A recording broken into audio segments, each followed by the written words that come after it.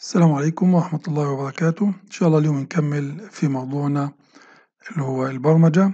كنا في المحاضرة الأخيرة بدينا في chapter تسعة. طبعا chapter تسعة بيتحدث عن ال object oriented programming وعن ال classes آه إن شاء الله اليوم نكمل في نفس الموضوع لكن قبل ما أبدأ آه حاب بس آه أعمل نوع من التذكير لطريقة البرمجة اللي إحنا استخدمناها من بداية الفصل اللي هي قريبة إلى موضوع ال procedural programming إنه المسألة كنا بعد ما نقرأها ونفهمها اللي هو نقسمها لمجموعة sub problems بعدين آه نحل كل sub problem عن طريق method بعد ذلك طبعا نستدعي ال method هذه من خلال اللي هو ال main method اللي عندي في ال class.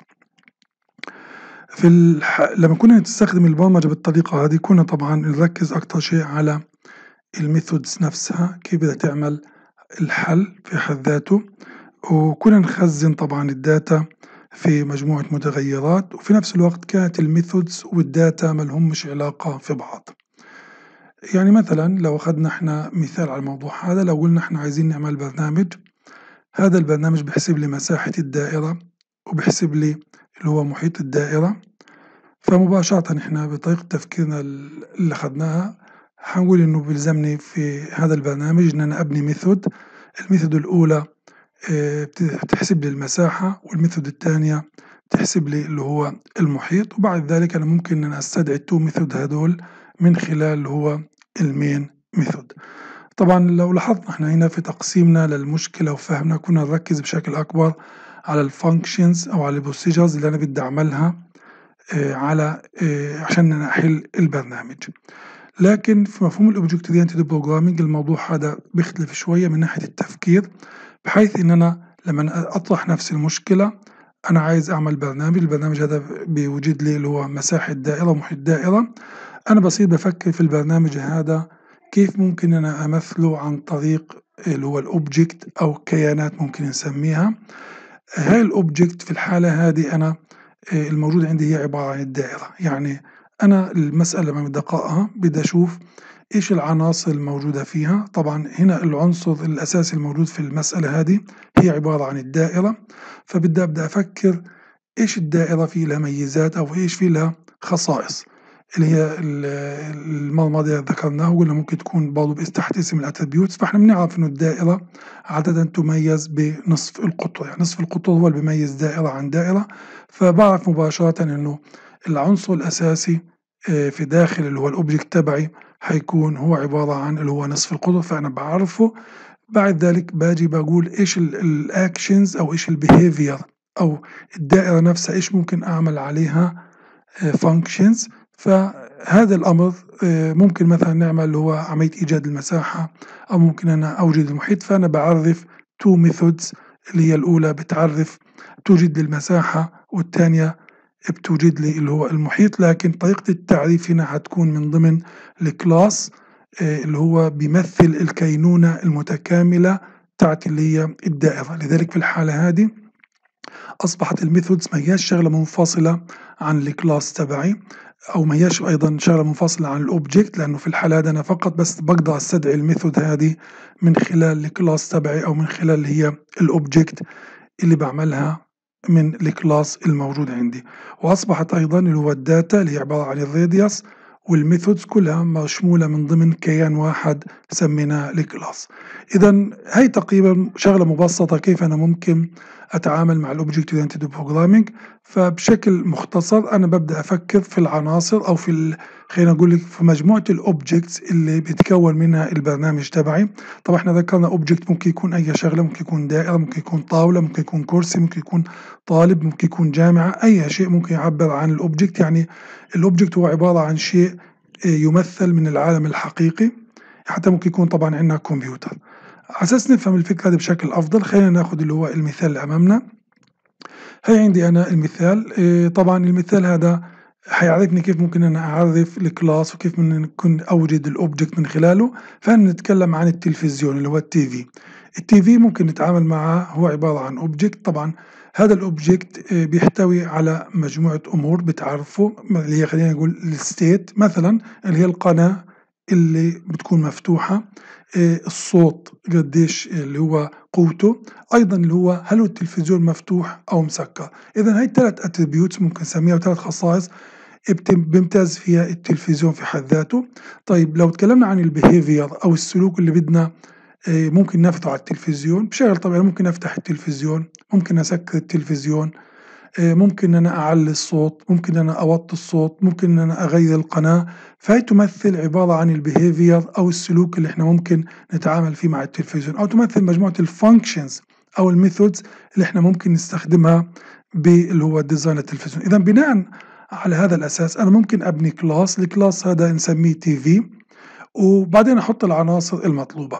فزي ما إحنا شايفين هنا ال UML diagram بيمثل الأمر هذا. فهنا عندي أنا اسم ال class TV زي ما إحنا شايفين. في عندنا هنا ال attributes تاعتي اللي هي ال channel وفي عندي اللي هو ال volume level اللي هو مستوى الصوت أيضا. هل التلفزيون يعني مغلق أو مفتوح؟ طبعا هدول الثلاثه بالقيم تبعتهم بيمثلوا ال state تاعت التلفزيون يعني كيف وضع التلفزيون الآن. فممكن أقول التلفزيون مفتوح مثلا على قناة رقم سبعة نفترض ومستوى الصوت فيه مثلا عشرة أو مستوى الصوت فيه حسب اللي هو مستويات الصوت اللي ممكن نعرفها. آه، أيضا هنا آه، عرفنا ال functions أو ال methods اللي بتكون من ضمن اللي هو الكينونة تاعت التلفزيون اللي حتكون هي عبارة عن ال class. فعندي هنا ال constructor عندي هنا turn on يعني كأنه أنا عايز أفتح التلفزيون turn off كأني عايز أطفي التلفزيون. هنا set volume. أنا بحدد اللي هو قوة اللي هو الصوت عفوا set channel بحدد اللي هو آه، المستوى أو أي قناة أنا عايز أتعامل معها بشكل مباشر.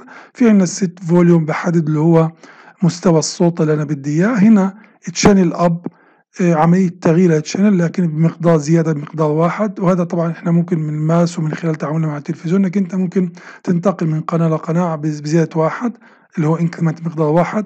ونفس الفكرة بالنسبة ل آه إن ننزلها يعني نقص من القناة قيمتها واحد. ونفس الفكرة تطبق على الصوت ففي عندي volume up و volume down اذا هذه مجموعة ال functions اللي إحنا ممكن نعملها على التلفزيون. وهي اللي هي الثلاث عناصر الأساسية اللي بتكون هي عبارة عن مكونات للتلفزيون عندي. هنا في شغلة بدي أنبه عليها ننتبه لإشارة الزائد. هنا في عندنا إشارة زائد زي ما أنتم شايفينها. إشارة الزائد لما تكون موجودة في ال UML diagram تعني إنه العنصر أو ال member خلينا نقول اللي هو العضو في داخل ال class حيكون عبارة عن public يعني هي تمثل هي public modifier يعني آه، الآن لما أجي أكتب ال constructor حأعرف ال constructor ك public لما أجي أعرف ال methods هذه الموجودة عندي أو ال functions الموجودة هذه عندي حعرفها على أساس إنها تعتبر عندي اللي هو public لأنه اشاره الزائد هي تمثل اللي هو public modifier خلينا نشوف كيف ممكن نعمل الأمر هذا عن طريق اللي هو البرمجة. هي أنا بنيت ال class طبعا ال class بنيته ك public سميته TV عرفت اللي هو ال channel ك integer واعطيتها قيمة واحد ك default. وعرفت اللي هو ال volume level برضه ك integer وأعطيته قيمة default واحد. عرفت اللي هي ال on هل التلفزيون مطفي أو شغال يعني. آه طبعا boolean هنا افترضت إنها false يعني التلفزيون في البداية بيكون عندي أنا إيه؟ مطفي. الآن بديت بعد ذلك إن أنا أعرف في اللي هو ال functions أو ال methods الموجودة عندي. فزي ما إحنا شايفين هنا استخدمت public لأنه قلنا إحنا ال constructor في عنده اشاره زائد إحنا عملناها فعرفناها ك public TV لاحظوا مرة ثانية بركز إنه ال constructor ملوش return type عندنا هنا public void turn on طبعا هنا اللي هي ال method الأولى.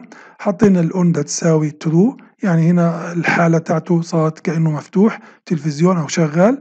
طبعا آه، من خلال ال method turn on في عندنا turn off بنعمل عملية عكسية يعني ال on حتصير تساوي هي false اللي هي ال state اللي بتحدد إنه هل التلفزيون شغال أو مطفي. بعد ذلك اللي هو set channel برضه عرفناها ك public وهنا ك argument أو ك parameter هتاخد اللي هو ال new channel طبعا هنا ال new channel لازم أخزنها في قيمة ال channel بتاعت اللي هو ال object أو بتاعت التلفزيون نفسه.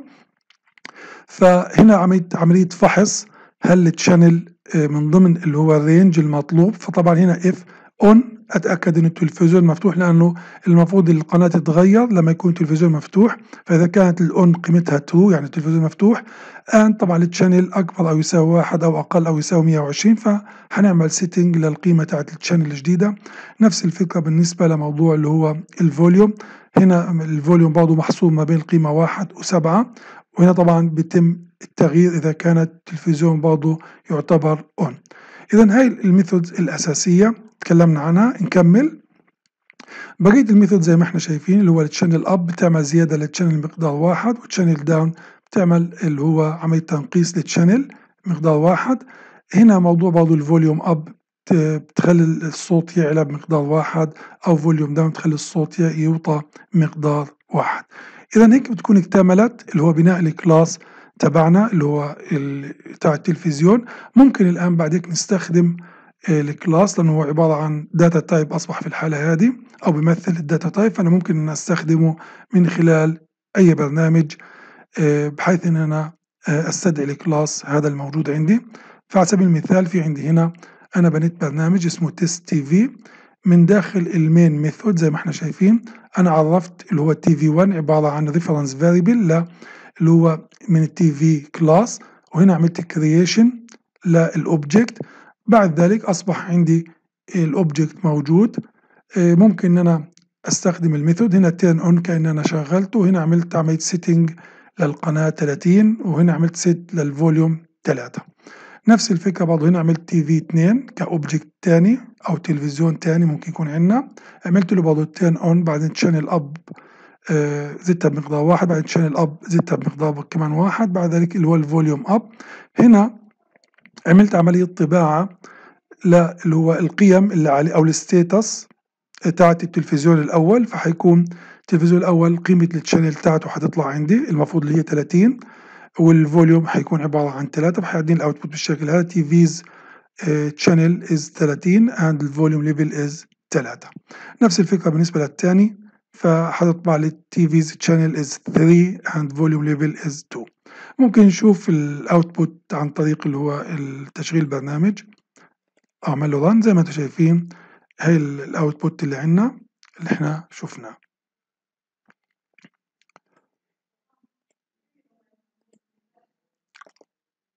طيب نتكلم الآن عن ال constructors بتفصيل أكتر. إحنا قلنا ال constructors يعتبر عبارة عن نوع خاص من ال method بتستدعى لما نعمل construction لل object يعني أول ما نعمل creation لل object ال constructor ك method تستدعى تلقائيا. يعني ال compiler بيستدعيها بشكل تلقائي.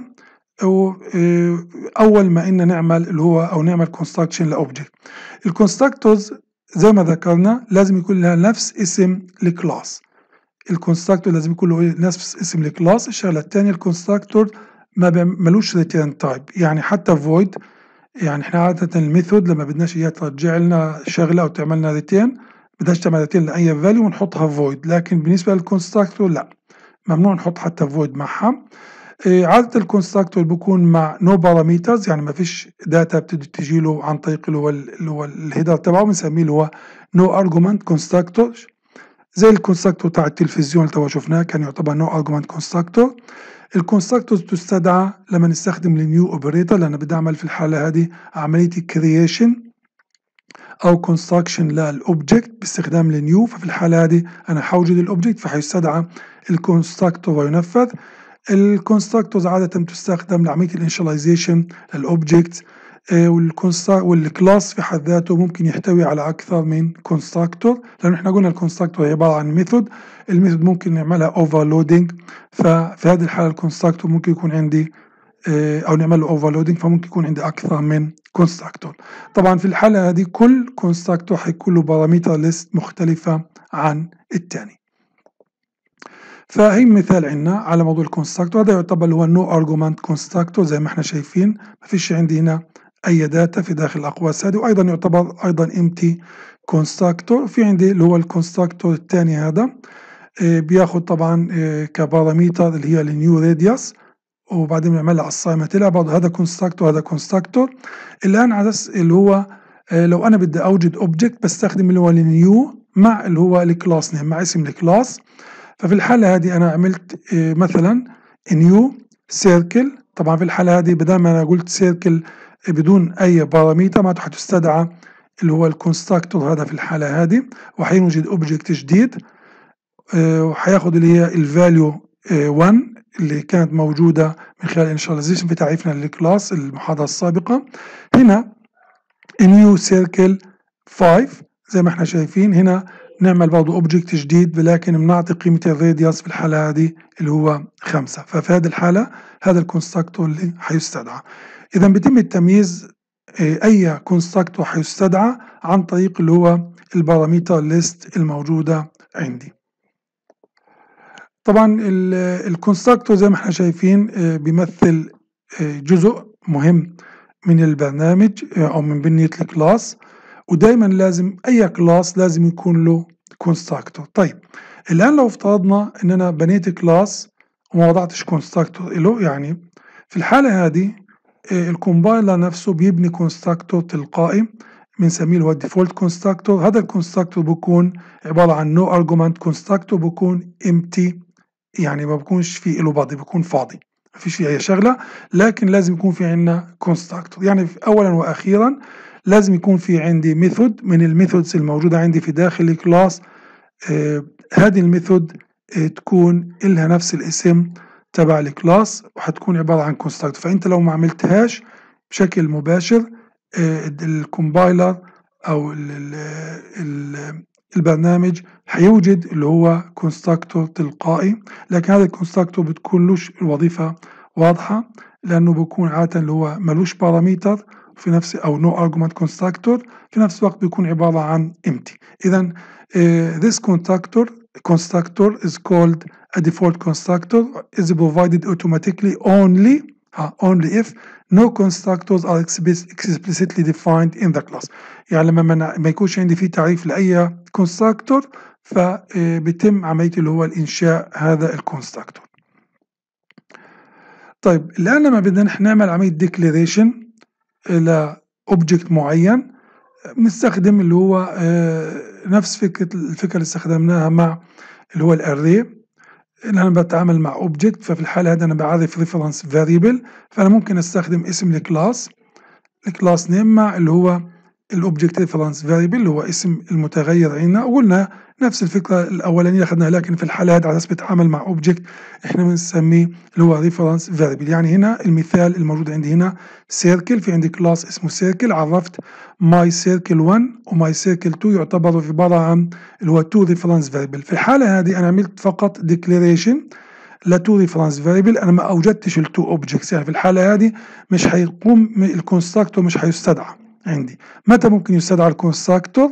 لما أعمل أنا creation لل object طبعا بعملها عن طريق استخدام اللي هو ال new operator فالآن لما أقول إنه reference variable my circle 1 بيساوي new circle هنا هيستدعى طبعا ال constructor الأولاني وهنا بيوجد يوجد ال object أصبح الآن في عندي عملية اللي هو آه، عملنا اللي هو ال declaration لل reference variable وهنا عملنا عملية اللي هو ال creation ل اللي هو ال object عن طريق اللي هو ال new وال address أو العنوان بتاعت ال object الموجوده في داخل ال memory بتتخزن في my circle 1 نفس الفكرة بالنسبة ل my circle 2 ولكن هيستدعى اللي هو ال constructor الثاني اللي هو بياخد آه، اللي هي ال input parameter اللي هي الخمسة في الحالة هذه.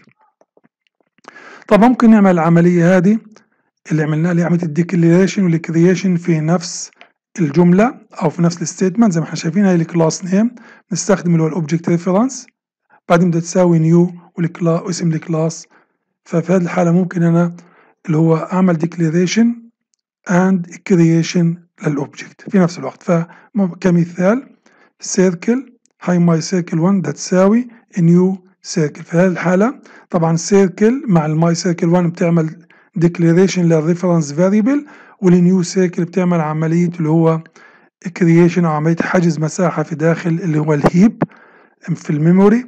وبتخزن اللي هو بعد ما تتم العملية العنوان تبع ال object اللي انوجد بيتخزن في اللي هو ال my circle 1 وهنا طبعا نفس الفكرة.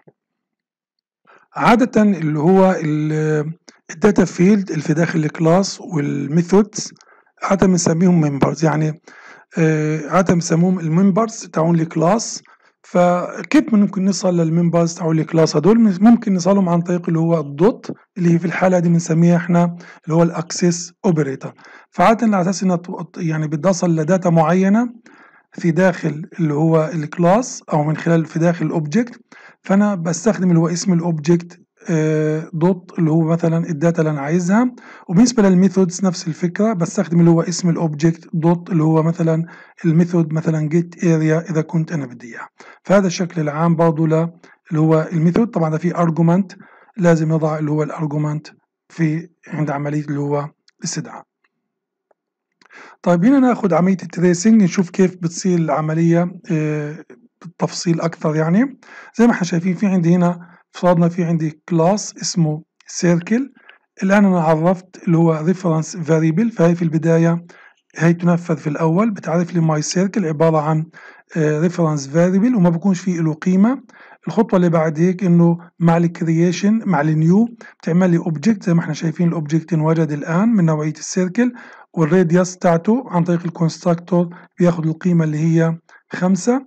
بعد ذلك هذا الآن أصبح موجود في داخل memory ال object العنوان تبعه بتخزن في اللي هو ال my circle فبصير هذه عبارة عن reference له. فزي ما إحنا شايفين هذا بصير عبارة عن reference value اللي هو ال object الأول. فأنا ممكن أتعامل مع ال object إذا هذا عن طريق اللي هو reference my circle الخطوة اللي بعديها نفس الشغلة. أنا الآن أوجدت اللي هو your circle عبارة عن reference variable من نوعية اللي هو ال circle ال new بتعمل creation أو بتعمل construction ل object جديد. في هذه الحالة طبعا بس هياخد قيمة ال radius بتساوي واحد لأنه هيستدعي اللي هو ال constructor اللي without argument زي ما إحنا شايفين. فبصير قيمته اللي هو ال radius واحد.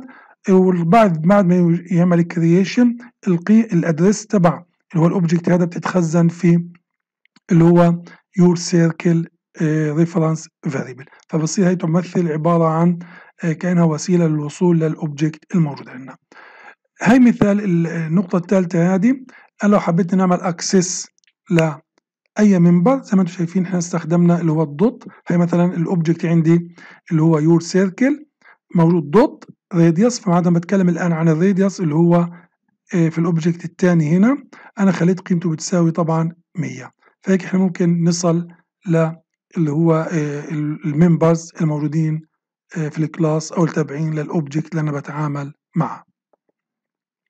في عنا بعض الأمور خلينا ننتبه لها. إحنا لما استخدمنا ال math class إذا فاكرين خلال chapter 2 و3 كنا نستخدم اللي هو اسم ال class نفسه ونستدعي اللي هو ال method. مثلا math dot power مثلا هذه كانت توجد لي اللي هو 3 لل أس 2.5 لاحظوا هنا كنا نستخدم إحنا اسم ال class نفسه في استدعاء ال method. طب هل هذا الأمر بينفع اللي هو ال circle class اللي تو عملناه؟ طبعا هذا الأمر ما بينفعش. ليش؟ لأنه ال math class ال methods الموجودة فيه زي ال power أو غيره معرفة ك static method. لما تكون معرفة ك static method غالبا ينفع أو غالبا أنا بستدعيها من خلال اللي هو اسم ال class. لكن إذا كانت ال method non-static فأنا لازم أستدعيها من خلال اللي هو object يعني لازم يكون في عندي object بستدعيه من خلالها. إذا هنا زي ما إحنا شايفين all the methods defined in the math class تعتبر عندي static. آه طبعا ال get area اللي هي في الحالة هذه تعتبر non-static فإذا بدي أستدعيها أنا لازم أستدعيها من خلال object فهنا ممكن أستدعيها من خلال هو ال object my circle بعد ما أكون أنا عرفته. إذا my circle dot get area هذه تعتبر عندي صحيحة. بس لو قلت له أنا circle dot get area طبعا هذا الاستدعاء مش صحيح خاطئ. إذا نعرف المعلومة هذه إنه في حالة ما يكون عندي أنا static method ال static method ممكن أنا أستدعيها عن من خلال اللي هو اسم ال class نفسه لكن ال non-static method method لازم أستدعيها من خلال اللي هو ال object بالنسبة له اللي هو ال reference data field إحنا لما بنينا ال class قلنا في عندنا ال attributes اللي بتكون موجودة فيه طبعا ممكن تكون من ال primitive data type أيضا ممكن تكون هي عبارة عن classes يعني ممكن تكون عبارة عن reference variable يعني مثلا عندي هنا هنا عرفت class اسمه student هي استخدمت أنا ال field الأول عندي آه، اللي هو اسمه name عرفته كنوع من من ال string اذا هذا reference variable لمين؟ ل string وعرفت فيه برضه بعض ال primitive data type زي الايج تعتبر integer ال science major تعتبر boolean gender ك character اذا ممكن أنا أعرف ال data field اللي في داخل ال class بحيث إنها تكون هي عبارة عن data آه، من نوعية class أو object من نوعية class ثاني طيب في حالة التعريف هذا آه وأنا بتكلم هنا بالتحديد عن ال data field نفسها. إذا أنا عملت التعريف هذا لو شايفين ما عملتش initialized value هنا آه بصير في عندي هنا تلقائيا default values بالنسبة لل objects بشكل عام ال default value بتكون هي عبارة عن null. يعني الآن ال name هذه هتحتوي فيها اللي هو ال null value ال primitive data type الرقمية اللي هي الأعداد زي ال integer ال double ال float هتاخد قيمة آه، آه، بشكل تلقائي. هذه القيمة بتكون عبارة عن zero بالنسبة لل boolean هتاخد قيم اللي هي ال false. بالنسبة لل character بتاخد اللي هي قيمة اللي هو ال character الأولاني اللي هو بيمثل بالشكل هذا. زي ما أنتم شايفين في اليونيكود اللي هو ال U مع اللي هو الأربع أصفار. اذا الآن لما أنا بنيت ال class هذا مع إني مش معطي قيم هنا للمتغيرات اللي هو ال data field في عندي قيم تلقائية آه، بتتاخد أو تتعبى فيها اللي هي بالنسبة لل objects بتاخد اللي هي ال null القيم الرقمية أو العادية بتاخد صفر القيم بتاعت اللي هي ال boolean بتاخد false ال character بياخد اللي هو آه، عبارة عن القيمة بتاعت ال character الأولاني. بالنسبة لل null نتذكر إنه هو عبارة عن قيمة خاصة في ال Java وهي تعتبر literal زي زي ال true وال false هنا لو حاولنا نطبق الأمر هذا آه، من خلال اللي هو البرنامج اللي عندنا هنا زي ما إحنا شايفين هي في داخل ال main أنا عندي عرفت object آه، مع reference من خلال reference variable student من نوعية student وهنا أوجدت ال object باستخدام ال new طبعا هنا لو حاولت إن أنا أحصل على ال data أو اطبع ال data fields الموجودة عندنا اللي هي ال name وال age وال science major وال gender. هنلاحظ إن القيم هتطلع عندي بالشكل هذا بالنسبة لل name هيكون null بالنسبة للايج هيكون صفر. ال is major science هيكون false وال gender هيكون عبارة عن zero zero اللي يمثل اللي هو ال null آه، اللي يمثل هو ال character الأول. فإذا زي ما أنتم شايفين هنا مع إن إحنا ما حطيناش data ال data أخذت default values بنسميها. وهذا طبعا بيحصل فقط في ال data field ما بيحصلش مع اللي هو ال local variables فمثلا هنا موضوع اللي هو ال local variables لو أنت استخدمت البرنامج بالشكل هذا integer x string y لاحظوا هنا ال x وال y عبارة عن local variables في داخل اللي هو ال main method يعني ما هماش يعتبر data field في الحالة هذه. فلو حاولت أنت تستخدمهم الآن هتلاقي إنه ال compiler هيعطيك اللي هو error لأنه ال variables not initialized لكن ال data field نتذكر إنها بتاخد اللي هو default value حتى لو أنت ما عملت لهاش initialization. اذا Java assigns no default value to local variables inside method زي الحل اللي إحنا شفناها هنا. طيب نتكلم عن اللي هو إيش الفرق ما بين اللي هو ال primitive data type وال objects type يعني من ناحية ال variables قلنا إحنا لما كنا نعرف مثلا integer i ده تساوي واحد إيش اللي بيصير عندي؟ إنه في داخل ال memory حينحجز لي مكان هذا المكان حيرمز له بالرمز اللي هو الاسم المتغير i في الحالة هذه حيتعبى وحياخد قيمة اللي هو الواحد اللي هو كقيمة له الآن بالنسبة لما يكون عندي circle اللي هو عبارة عن object طبعا حيوجد عندي هنا reference اللي هو المد... اسم المتغير هذا حسميناه reference variable c حيكون في اللي هو reference ل اللي هو ل object من نوعية اللي هو circle طبعا ال object هذا بيكون في داخل اللي هو ال heap منطقة ال heap في ال memory. طبعا بعد ما نكون إحنا أوجدناه عن طريق اللي هو ال new circle فاذا بدنا نفهم الأمر بالشكل هذا. السي اللي هو reference variable بيكون موجود في داخل ال memory بده يحتوي عادة اللي هو ال address تبع اللي هو ال object الموجود في داخل ال heap